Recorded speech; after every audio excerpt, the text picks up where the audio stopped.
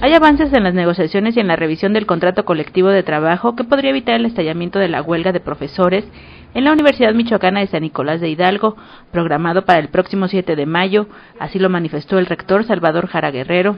Aseguró hay un avance del 90%, lo cual abona para que los catedráticos adheridos al sindicato de profesores de la Universidad Michoacana SPUM pudieran conjurar la huelga. El beneficio de la duda, no digo que tengamos el 100%, pero yo creo que el 99%, ¿no? Podía haber alguna cosa que se nos haya escapado, estamos a la espera de que el sindicato nos lo indique. Hemos enviado todos los documentos eh, probatorios, este, de tal forma que yo creo que, que eh, este, no habrá razón para una huelga de los profesores. También el Sindicato Único de Empleados mantiene un emplazamiento para el 7 de mayo. En este caso, el rector de la Casa de Hidalgo afirmó no tiene la notificación oficial de los empleados administrativos para conocer sus demandas.